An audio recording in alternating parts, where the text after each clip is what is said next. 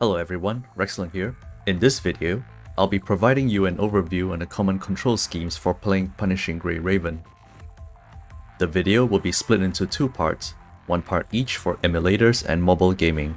You can skip to the relevant chapter in the video to find a guide that suits you. First off, if you're going with an emulator and haven't installed one yet, I highly recommend the Chinese version of Mumu, not to be confused with Memu. Mumu is highly optimized and is officially partnered and endorsed by Punishing Gray Raven. As for myself, my videos were all played and recorded on Mumu.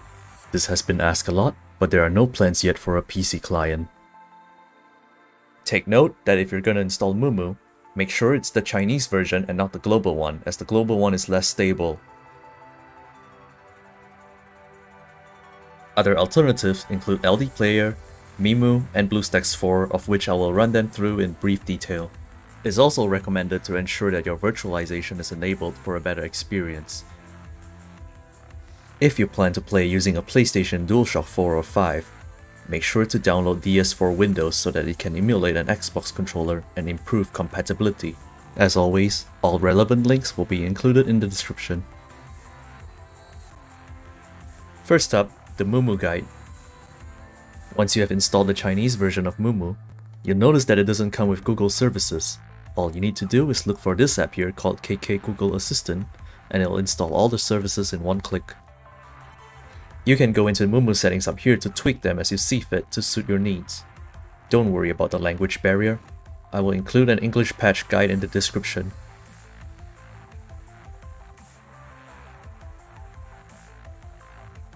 As I have a PlayStation DualShock 4 connected, I will boot up DS4 Windows for this. Feel free to change the settings to have it on startup if you always have your controller connected. You can ignore this step if you own an Xbox controller because it's plug and play. Once you're satisfied with settings, let's start the game. Once you're in the game, go to the gamepad settings by clicking this gamepad icon. It'll bring up the keybinds editor. Create a new preset by clicking over here, and then you can simply click on any part of the screen where you want to set a key. Then press the button on your gamepad where you want it mapped to. You will need a minimum of 13 buttons mapped. 8 for orbs, 2 for character swap, 3 for attack, dodge, and ultimate, on top of the movement and camera sticks. It may seem daunting at first managing so many things at once, but don't worry, soon enough, muscle memory will be developed. Drag these buttons down for the movement stick and the camera stick respectively. Click here to adjust the camera sensitivity slider to your liking. Next, let's input the keys. Click on each mapping and simply press the button you want on your gamepad. This is just how I play PGR, so you don't exactly have to follow how I map my keys. Feel free to come up with your own as long as it's comfortable. It may feel unintuitive at first, but you'll get used to it in due time.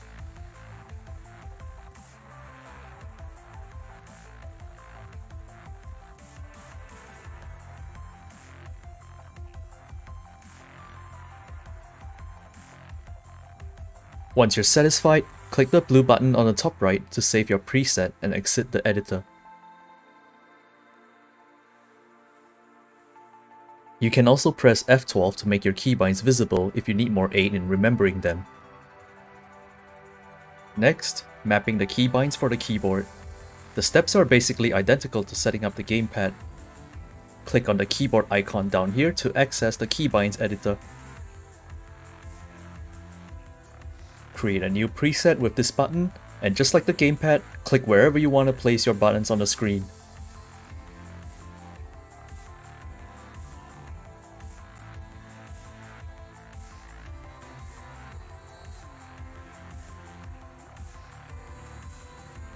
Drag these buttons down to the screen for the movement and camera stick respectively.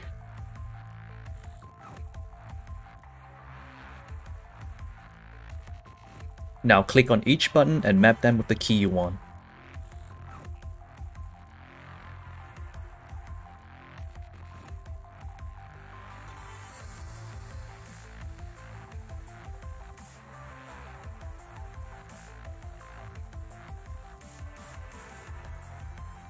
Once you're satisfied, click on the blue button on the top right to save your changes and exit the editor.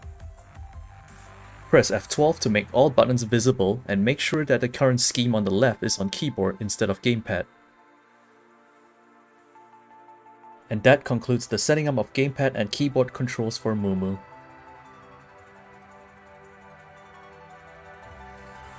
Next up, the Memu emulator.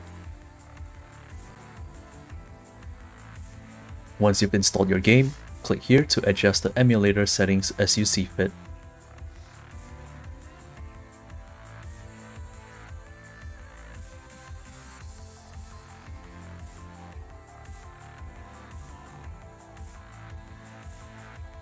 As you can see, my gamepad is automatically detected by the emulator. I have my DualShock 4 connected with DS4 Windows active as we speak. Once you're in the game, click on the keyboard icon on the right panel here to access the editor. Make sure the gamepad tab is selected at the top. Click the drop-down menu and create a new template and give it a name. The steps are similar to setting up Mumu. Click any part of the screen to set your button and press the button on your gamepad that you want it mapped to.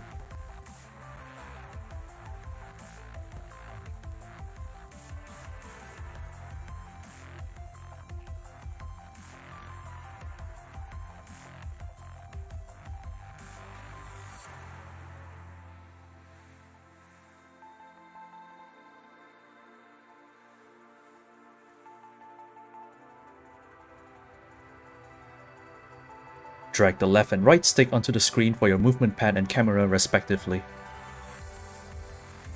Once you're satisfied with the settings, click Save to exit the editor.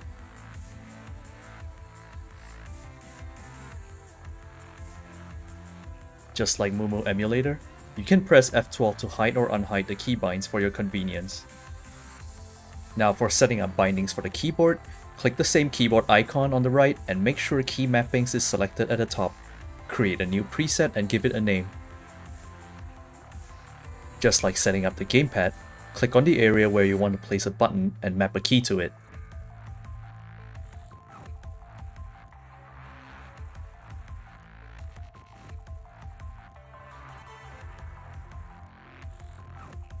Drag and drop the joystick button on top of the movement pad. Click advance and do the same with the 3D view button for your camera. Once you're satisfied with the settings, click on Save to exit the editor. And that concludes the setting up of gamepad and keyboard controls for Memu. Next, we will talk about setting up controls for BlueStacks. Once you're on the main menu, go to the settings and ensure that the gamepad detection is not disabled.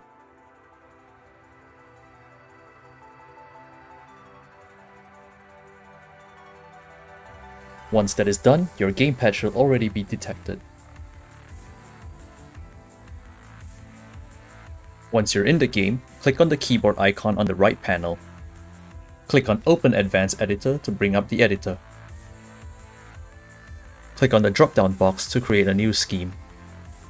The main difference here is that the button mappings for BlueStacks are shared between keyboard and gamepad.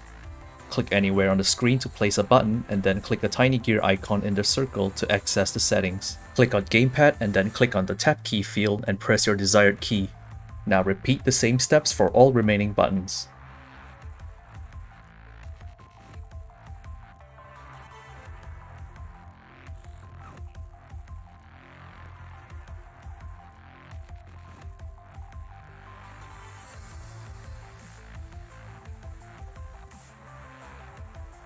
Once you're done with the basic buttons, drag and drop the D-pad onto the games and perform the same thing.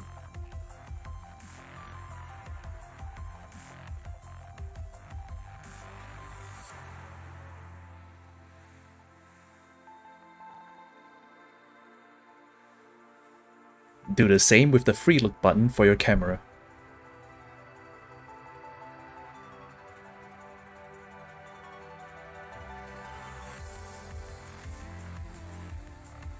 Once you're satisfied with the changes, hit save to close the editor.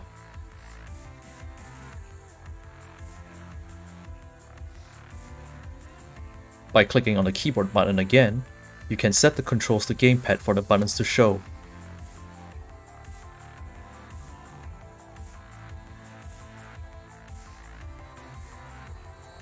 Next, setting up for keyboard is fairly simple. Again, go to the editor with the keyboard button on the right and simply click on the location on the screen to immediately bind your keys.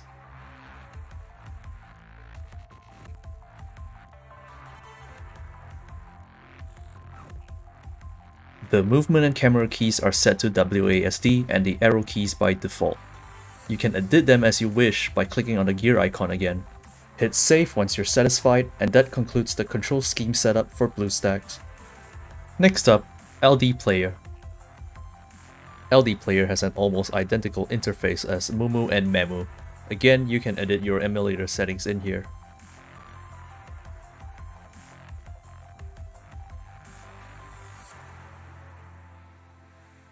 As usual, click on the keyboard icon and then the gamepad icon to access the gamepad keybind editor. Click anywhere on the screen to place a button and then you can bind your gamepad. Do this for all the essential buttons.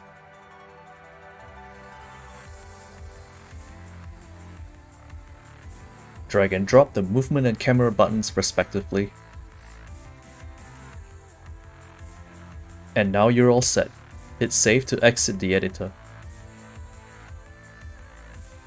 You can also check this box to unhide your keybinds.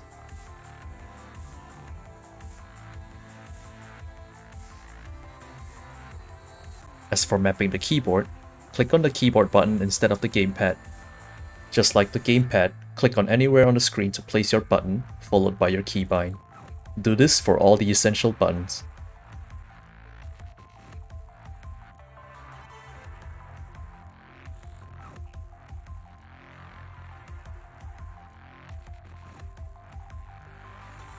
Drag and drop the movement and 3D view buttons onto their respective locations and hit save.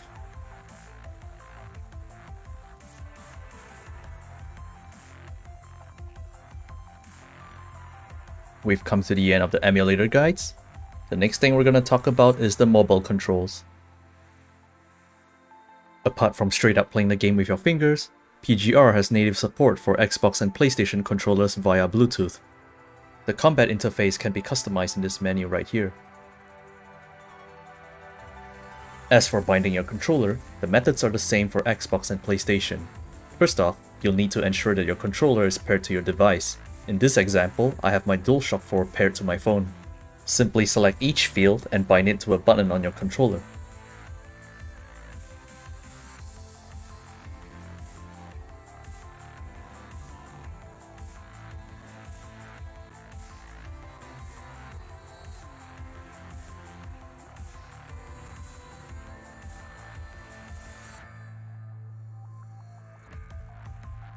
Once you're done, you're all set. The input lag seems to be unnoticeable, so it's a pretty good control scheme if you choose to play with a gamepad on your mobile device.